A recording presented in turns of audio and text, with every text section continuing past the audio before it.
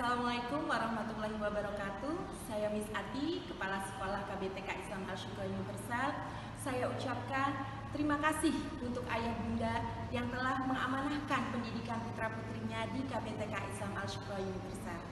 Sebuah keputusan yang sangat tepat di masa pandemi ini tetap memberikan pendidikan yang terbaik untuk putra putri tercinta.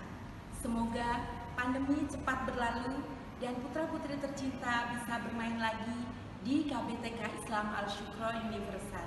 Wassalamualaikum warahmatullahi wabarakatuh.